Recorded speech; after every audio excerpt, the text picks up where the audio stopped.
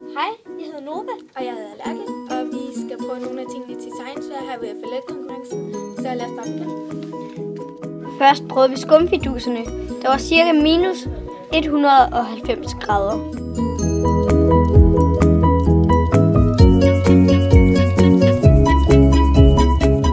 Der var også en flødebold, der udvidede sig helt vildt, da de tømte boksen for luft.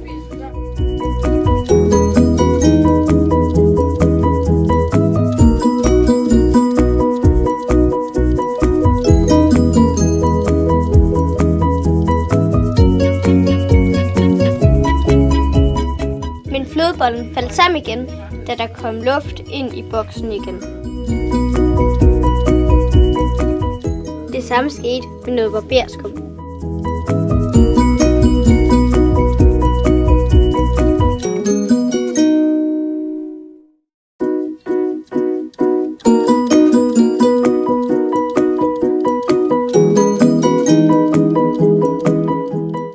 kunne også programmere en robot til at få den til at danse. Og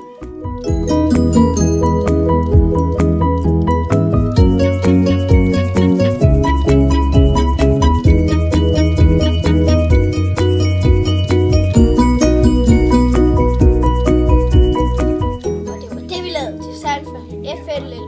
Tak fordi I så med.